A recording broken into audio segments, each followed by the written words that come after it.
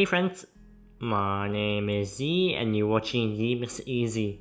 And welcome to a new video for IGCSE Maths and today we have rules and examples for simultaneous equation. And we'll now look into some basics. And before you get into it, don't forget to leave a like, subscribe, and ring the notification bell so that you don't miss out on any future videos. And we'll look into basics now. So simultaneous equation is quite a basic topic, but to know it really well is really like important for the maths course because we'll use it a lot. So basically simultaneous equation are a set of two or more equations, each containing two or more variables whose values can simultaneously satisfy both or all the equations in the set. And the number of variables being equal to or less than the number of equations in the set. So it's quite a wordy and a long definition, but to put in short, simultaneous equations is when there's mostly two equations with some unknowns. So like x and y, x and y, and they both equal something because it's an equation. And you can use various methods to find out the values of x and y that satisfy both equations. We'll look into some basics. There are three methods to solve simultaneous equations. There's number one, substitution. Number two, elimination, which is what we always use. And number three, and I like not really use one, but it's graph. And we're now look into some substitution. So for substitution, let's say we have two equations as usual, we're given two equations. And number one, we have y equals x squared plus 5x minus 9. And number two, we have 4 equals x minus y. And what we would normally do is that we would like minus the top and the bottom equation to get like to cancel out a term but that doesn't work for here because there's a square and it's like a quadratic equation. So what I can do is that I can just rearrange the second equation to get y the subject. So in this case, I will rearrange uh, 4 equals x minus y to y equals x minus 4 right here.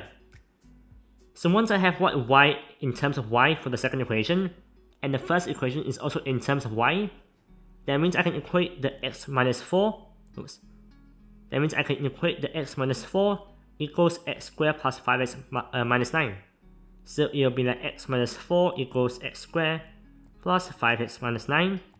And I'll have two values of x right here. And you can find the consequent like the consequent y values for both like values of x. So it'll be like y equals something, y equals something. And this substitution method will work really well when you have a quadratic equation and a linear equation where there's not a quadratic. Then we have some more basics. We have elimination, which is what we typically use. So elimination is where there are two like there's like same term or you can force to be to have the same term. So with equation 1 and 2. So in both both equations there's the same term of 3x. So we can just minus 3s to get like something y something that equals something, then find y and find x. So of course we can use substitution, like we can just do like 3x equals 8 minus 2y, and just put it here 8, oops, then you can put it here 8 minus 2y, but it'll be quite pointless because you can just minus both equations together for a more straightforward and faster answer. And number three, we have graph, which is not we typically use. But basically graph, and this uh, app is called Desmos, and you all should use because it's quite useful for for like plotting graph. So when we have two equations, we have 2x plus 3y equals 7, number 1, and 3x minus 4y equals 2, number 2. We can plot those two graphs into a graph. We can plot this, those two equations into a graph to find the point of intersection. So in this case, it's this point right here. 2, 1. That means that 2, 1 is a solution. Because in simultaneous equation, when you equate both equations together, you're basically finding where they both intersect because you're trying to find the common point that both have for a specific value. So basically, if you have like, let's say 2x equals 1, sorry, 2x minus 1 equals 3x plus 2, and when you solve for x, you're basically finding the x value which are common in both equations and that the both equations intersect that x value. And lastly, here's an example for simultaneous equation. So we have y squared plus 2x, uh, 2x plus 3 squared equals 10. And number 2 is 2x plus y equals 1. So what I can do is that I can just substitute, uh, sorry, I can just rearrange equation to use the substitution, substitution method. So the second equation would be 2x equals 1 minus y. And then you can substitute 2x by 2x. So it will be y squared plus the 2x will be 1 minus y, 1 minus y plus 3 squared equals 10. Rearrange the equation to get y squared plus 4 minus y squared equals 10. Then expand the bracket to get y squared plus 16 minus 8y plus y squared equals 10. And therefore it will be 2y squared minus 8y plus 16 equals 10. So we can rearrange the equation, let's just write the top out here. Rearrange the equation to get um, 2y squared minus 8y plus 6 equals 0. And we can further simplify this first by dividing everything by 2. So let's just do that. It will be y squared minus 4y plus 3 equals 0. So now you have to factorize the equation to get two values of y because it's a quadratic equation. So let's just write this out. And the two values of y, let's just factorize it first. It will be y minus 1 and y minus 3 equals 0.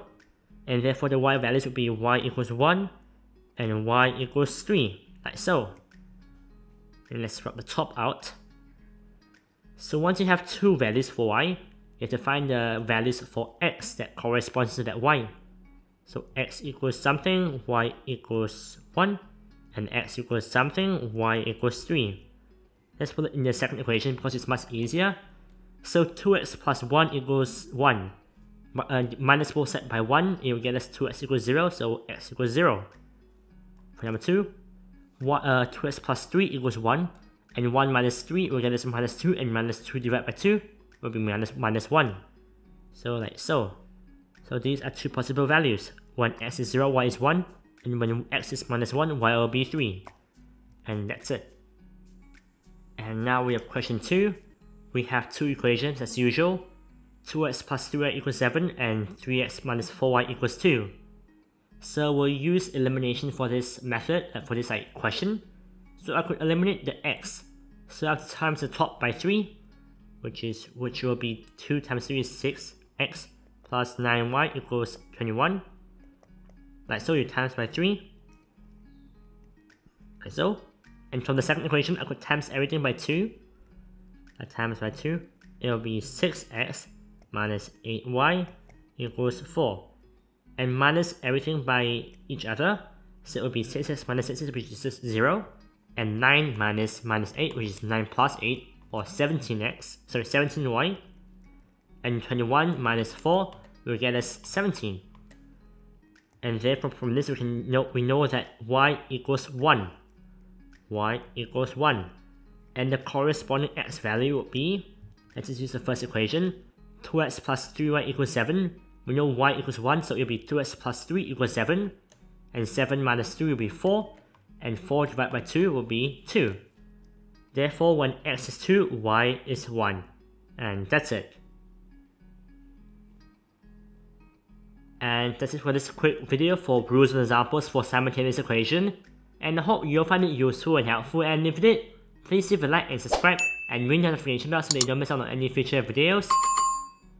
And if you have any feedbacks or constructive criticisms about my channel or YouTube or like any website, just show that in the comment section and I'll reply to them. And check out my social media links in the description, for example, you, uh, LinkedIn or Instagram. And if you need any learning resources or any teaching resources, just check out my website in the description or you can type it out in your browser at www.yimakesiteasy.com. And I hope you'll find it useful and helpful and I'll see you all in the next video which will be questions for simultaneous equation. Until then, stay safe and happy learning.